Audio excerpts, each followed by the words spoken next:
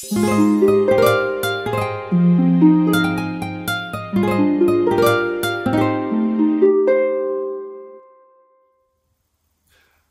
liebe Märchenfreunde, ich freue mich wie immer, dass ihr bei mir hereinschaut. Heute zum 3. November habe ich eine kurze Geschichte aus Deutschland für euch. Vom Kätzchen und den Stricknadeln. Und die geht so. Es war einmal eine arme Frau, die ging in den Wald, um Holz zu lesen.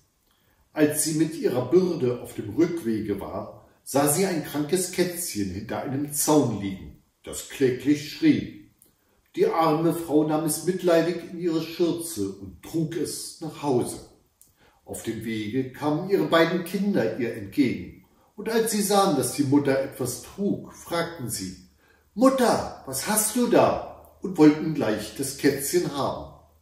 Aber die Frau gab den Kindern das Kätzchen nicht, aus Sorge, sie möchten es quälen, sondern sie legte es zu Hause auf alte Kleider und gab ihm Milch zu trinken.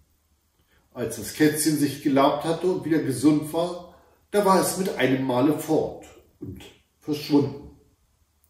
Nach einiger Zeit ging die arme Frau wieder in den Wald und als sie mit ihrer Bürde Holz auf dem Rückwege zu der Stelle kam, wo das kranke Kätzchen gelegen hatte, da stand eine vornehme Dame dort und warf ihr fünf Stricknadeln in die Schürze. Die Frau wusste nicht recht, was sie denken sollte. Die absonderliche Gabe schien ihr gar zu gering. Doch nahm sie die fünf Stricknadeln mit nach Hause und legte sie des Abends auf den Tisch. Aber als die Frau des anderen Morgens aufgestanden war, da lagen ein paar neue, fertig gestrickte Strümpfe auf dem Tisch. Das wunderte die Frau über alle Maßen. Am nächsten Abend legte sie die Nadeln wieder auf den Tisch und am Morgen lagen neue Strümpfe da.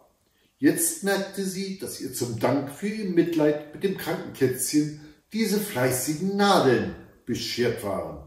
Und, und, sie ließ dies, dies, und sie ließ dieselben nun jede Nacht stricken, bis sie für sich und ihre Kinder genug hatte. Dann verkaufte sie Strümpfe und hatte gut zu leben, bis an ihr seliges Ende. Wenn euch das Märchen gefallen hat, gebt mir ein Like, schreibt hier unten etwas in die Kommentare und abonniert meinen Kanal, wenn ihr mögt.